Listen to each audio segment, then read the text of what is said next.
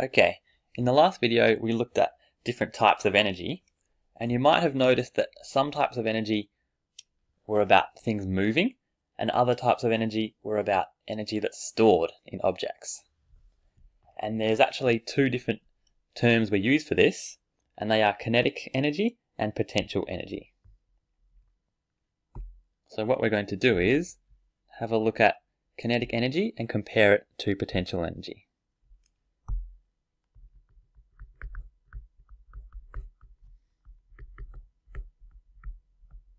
So kinetic energy is the energy of things moving.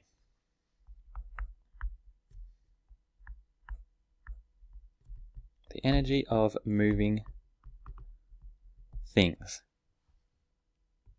And those things can be objects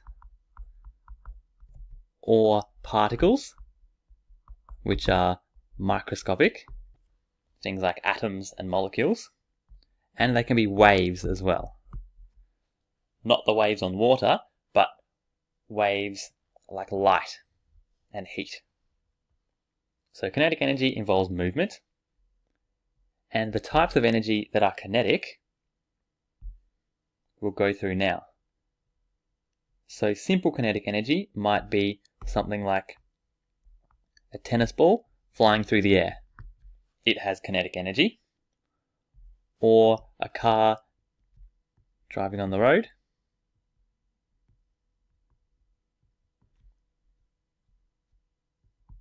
A car, a moving car, also has kinetic energy.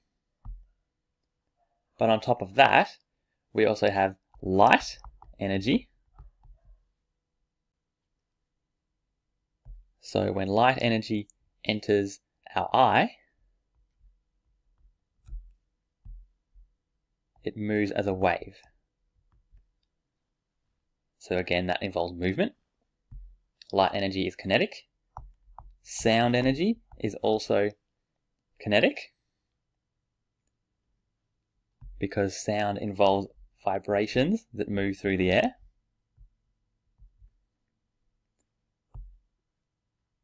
And heat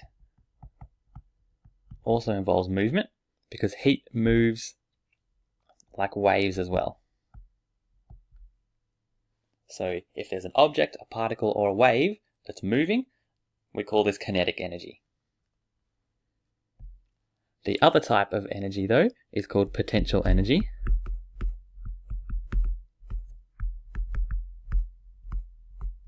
And potential energy is stored energy that can be used later.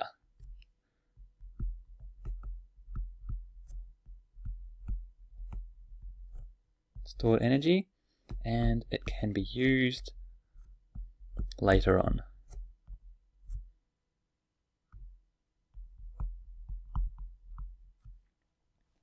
Some of the types of potential energy that we've seen are electrical energy,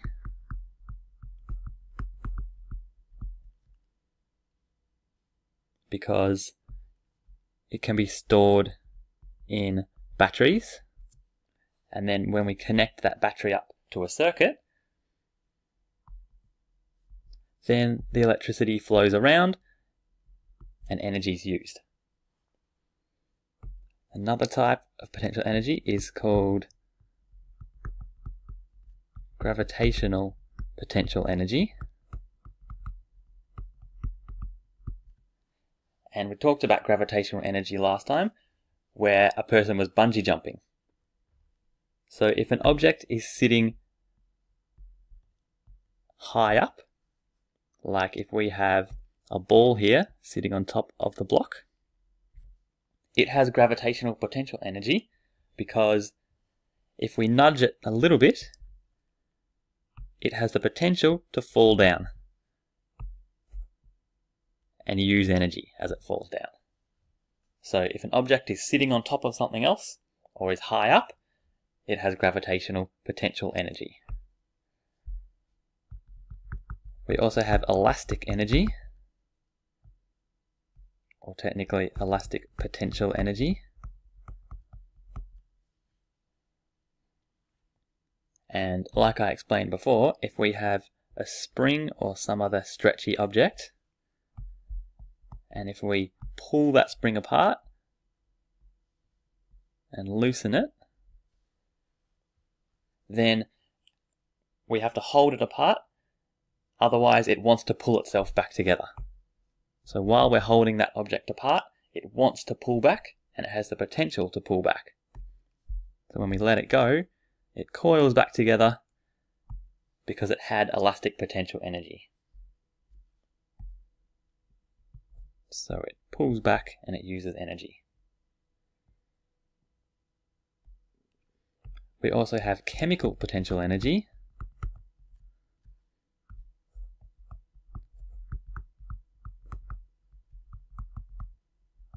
chemical potential energy, which is energy that's stored in foods and fuels. So something like a banana.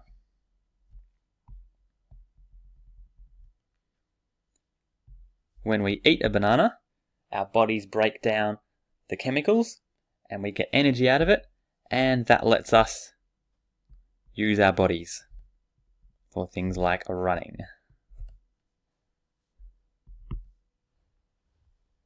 Finally, we have nuclear energy, which we mentioned last time as well. And technically, we now want to call all these nuclear potential or chemical potential energy, just to show that they're stored energy. And remember that nuclear potential energy is stored inside atoms, And the way we use it is we get radioactive atoms. And in a nuclear power plant, they convert that into electricity. So there's energy that's stored in the radioactive atoms. And afterwards, we get out energy from the power plant. So whenever we're thinking of types of energy, we can always classify them as kinetic or potential.